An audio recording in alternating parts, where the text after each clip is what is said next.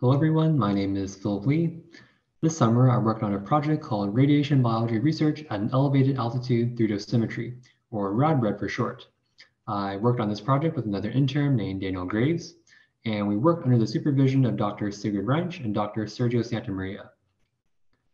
So I'll be giving a really quick overview of the project and the work we completed this summer.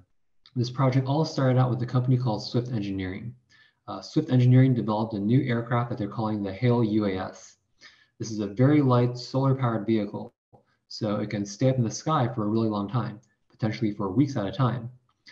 The aircraft is designed to operate at altitudes of up to 65 to 70,000 feet in the stratosphere, and there's a lot of interest in flying biological payloads up in the stratosphere, since the stratosphere environment can be considered a Mars analog in terms of temperature, pressure, and radiation levels.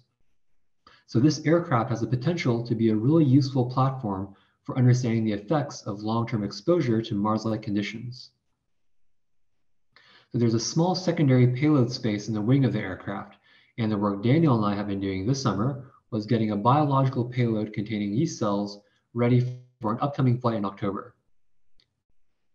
So here's an image of our payload. Uh, the sides of the payload will contain well plates, and these well plates will hold our yeast cells.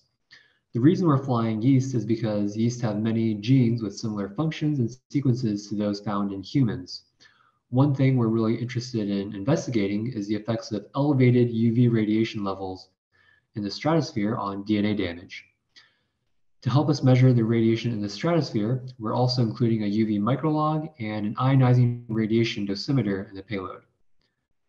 So that's a really quick overview of our project this summer. Thank you to everyone who's helped us out along the way. And if you're interested in getting involved with this project, feel free to contact Dr. Sigrid Reinsch. Thank you.